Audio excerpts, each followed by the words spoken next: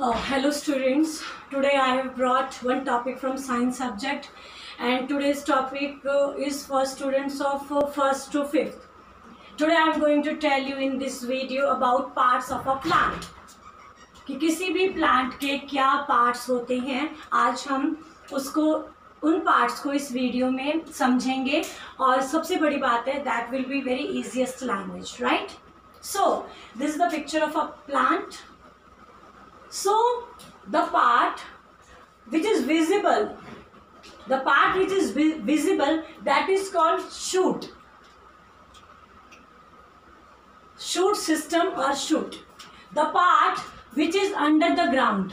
The part which is in the soil or under the ground that is called root. कोई भी plant है कोई भी पेड़ है कोई भी पौधा है वो दो पार्ट्स में पहले तो डिवाइड होगा सबसे पहला वो पार्ट होता है जो विजिबल होता है। ज़मीन का जो ये सरफेस होता है, इस सरफेस के ऊपर, यहाँ से जो पार्ट स्टार्ट है और जो हमें विजिबल है, उस पार्ट को हम कहेंगे शूट सिस्टम और दूसरा पार्ट जो ज़मीन के अंदर है the part which is inside the soil that is called root system right root system ये जड़ों वाला भाग है और ये आपका शूट सिस्टम है, ये आपका रूट सिस्टम है.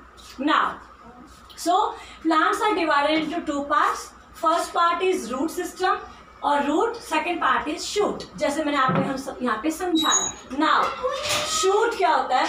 The part of the plant above the soil बेटे, मैंने बहुत इजी लैंग्वेज में ये डेफिनेशन लिखी है सो so दैट आपको आसानी से समझ में आए।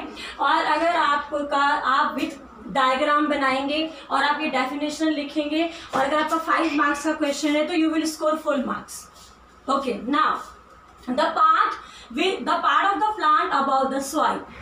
Shoot हमारा वो पार्ट होता है जो मिट्टी के ऊपर होता है और जो हमें विजिबल है।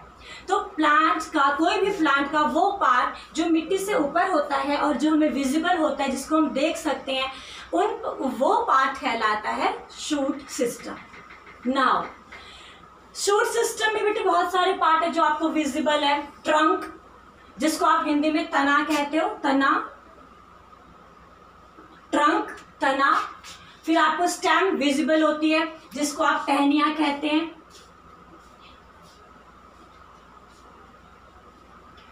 फ्लावर फ्लावर भी हम देख सकते हैं। फूल।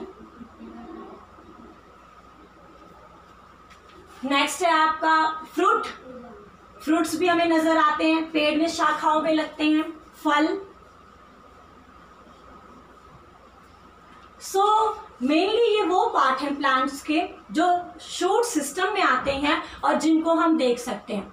अब आप देखो जो घर के बाहर निकलते हैं आप लोग तो कितने सारे पेड़ पौधे हैं जिनके ये पार्ट्स आप देख सकते हो। आप पत्तों को देख सकते हो leaf okay we have not return so this is like leaf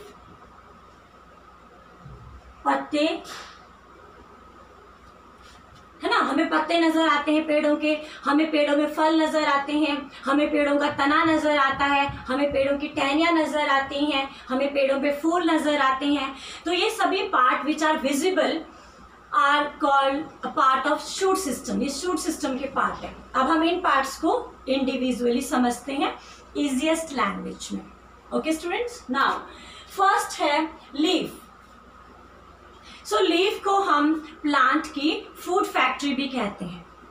जिस प्रकार आपका घर का फ़ूड फैक्ट्री आपकी किचन है उसी प्रकार पेड़ का पौधे का जो फ़ूड फैक्ट्री होता है वो लीफ होती है। हम इसको दूसरे नाम से भी कहते हैं food factory that prepare food और आप लीफ को हम यहाँ पे लिखते हैं आप लीफ को लीफ को आप किचन के I T C H E N kitchen of the plant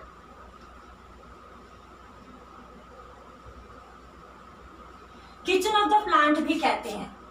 leaf को हम किचन ऑफ़ द प्लांट भी कहते हैं स्टूडेंट्स और food factory that prepare food कितने इजी लैंग्वेज में हम कर रहे हैं बेटे आज parts of a plant so leaf होता है food factory of a plant और किचन ऑफ़ द प्लांट इसलिए कहा जाता है, क्योंकि जो ये लीफ होता है लीव्स में ही फ़ूड बनता है और वो फ़ूड फिर प्लांट यूज़ करता है अपनी ग्रोथ के लिए। और जो फ़ूड बच जाता है, वो प्लांट में फिर स्टार्च के फॉर्म में स्टोर होता है। चलिए नेक्स्ट पार्ट करते हैं स्टूडेंट्स फ्लावर ये देखिए फ्लावर है। फ्लावर हमारा प्लांट का रिप्रोडक्टिव पार्ट होता है। आप लिखेंगे reproductive part of a plant reproductive part of plant का मतलब होता है कि फूल के ज़रिए ही प्लांट्स में जो रिप्रोडक्शन है, वो होता है। ठीक है, फूल में पोलन ग्रेन होगा स्टेमन वगैरह होगा एंथर्स वगैरह होंगे इन पे इंसेक्ट बैठते हैं। फूलों पे इंसेक्ट बैठते हैं और फिर यही इंसेक्ट पोलन ग्रेन्स को अपने साथ, अपने पंखों में, अपने पैरों में वो चिपक जाते हैं। फिर ये फूल दूसरे, ये इंसेक्ट दूसरे फूलों में बैठते हैं। वहाँ जाके फिर वो पोलन ग्रेन्स गिर जाते हैं। और इस प्रकार फिर जो है नए नए पौधों का जन्म होता है नए नए पौधे उगते हैं। आप देखो कितने सारे पौधे हमें आसपास नज़र आते हैं जब आप रोड में चलते हो। क्या सब पौधे सरकार ने लगाए हैं? या ये सब पौधे किसी ने उगाए हैं? No no. ये सब पौधे either with the help of wind या तो हवा की वजह से, या पानी की वजह से, या जीव जंतुओं की वजह से। ये जो फूल में ये बैठते हैं और फूल से जो पोलन ग्रेन्स होते हैं, ये ट्रांसफ़र होते हैं एक जगह से दूसरे जगह। और फिर इस प्रकार नए पौधों का ग्रोथ होती है। नए पौधे यहाँ वहाँ उगते हैं। पानी के ज़रिए सीड्स ट्रांसफ़र होते हैं। हवा के ज़रिए सीड्स ट्रांसफ़र होते हैं, पक्षियों के ज़रिए बटरफ्लाई बीज इन सब के ज़रिए सीड्स ट्रांसफ़र होते हैं और फिर यहाँ यदा कदा आप देखो, यहाँ वहाँ आप देखो there are so many plants so main है आपके लिए फ्लावर क्या होता है? Reproductive part of the plant मतलब रिप्रोडक्शन में अगर कोई हेल्प करता है तो प्लांट का वो कौन सा पार्ट है? वो है flower very easy language next stem अभी जो हमारे स्टेम्स हैं आप मान लीजिए लीव्स ने खाना बनाया। लीव्स ने खाना बनाया है फ़ूड बनाया है प्लांट के लेकिन वो फ़ूड लीफ के अलावा और पार्ट्स में कैसे जाएगा? सो so, स्टेम की मदद से स्टेम की मदद से ये जो फ़ूड प्रिपेयर होता है ये food different parts of plant में ट्रांसफ़र करता है। मतलब स्टेम के ज़रिए जो फ़ूड बनाया है लीव्स ने वो food different parts of plants में जाता है या आप ट्रांसफ़र करता है या वो ट्रांसपोर्ट होता है। सो so, स्टेम का हमारा ये वर्क है। Transport water and food to other parts of a plant अब मान लीजिए जड़ों ने रूट्स ने ज़मीन से सॉइल से पानी लिया मिनरल्स लिया न्यूट्रिएंट्स लिया, ये जड़ों ने एब्जॉर्ब किया। जड़ों ने मिट्टी से पानी भी लिया है न्यूट्रिएंट्स लिया मिनरल्स लिया। लेकिन अब ये पानी, ये सब चीज़ें कैसे जाएँगे पौधे के और पार्ट्स में?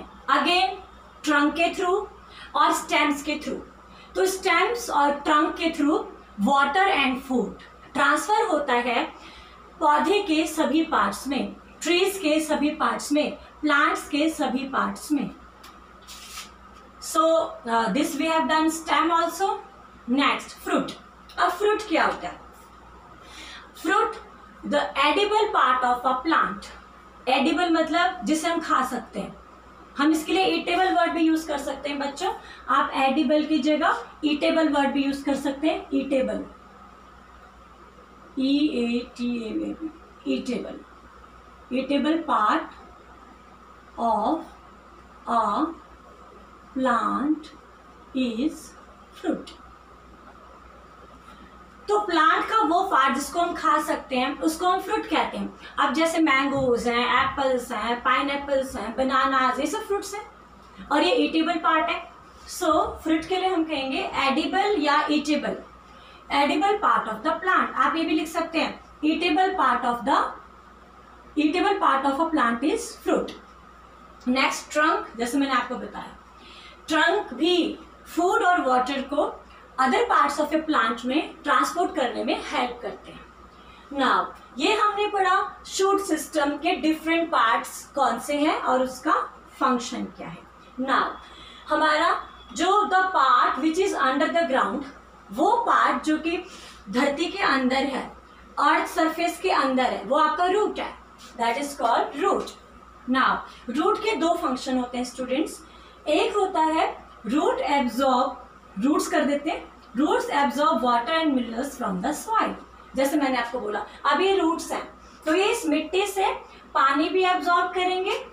यहाँ से मिट्टी से पानी भी एब्जॉर्ब करेंगे. मिनरल्स भी एब्जॉर्ब करेंगे. और फिर वो ही पानी और मिनरल्स जिस ट्रंक के ज़रिए और स्टेम के ज़रिए प्लांट्स के डिफरेंट पार्ट में ट्रांसफ़र होगा या ट्रांसपोर्ट होगा। ये हमारा एक फ़ंक्शन है रूट्स का। सेकंड रूट्स का सेकंड फ़ंक्शन है कि रूट्स प्लांट को सॉइल से फिक्स करके रखती है। अगर रूट्स ना हो स्टूडेंट्स तो ये जो प्लांट्स हैं, ये हवा के साथ उड़ जाएँगे, पानी के साथ बह जाएँगे। तो रूट्स के वजह से ही जो प्लांट्स हैं वो सॉइल के साथ फिक्स होते हैं। सो so, रूट्स के दो फ़ंक्शन हो गए students roots fix the plant with the soil और जितना ज़्यादा रूट मज़बूत होगा उतना ज़्यादा हमारा प्लांट भी मज़बूत होगा। Like that now in today's video we did parts of a plant and in a very easiest way हमने इनको आज समझा भी है। बेटा this is more than enough अगर आप फिफ्थ क्लास तक के स्टूडेंट्स हैं और आप इसको इस तरीके से डायग्राम बनाते और इतना छोटा डेफिनेशन लिखते हैं तो आपका स्कोरिंग भी अच्छा होगा स्टूडेंट्स और मेरा मानना है कि स्कोरिंग से ज़्यादा हमारा फोकस होना चाहिए नॉलेज के ऊपर। Knowledge is the biggest weapon in the world thank you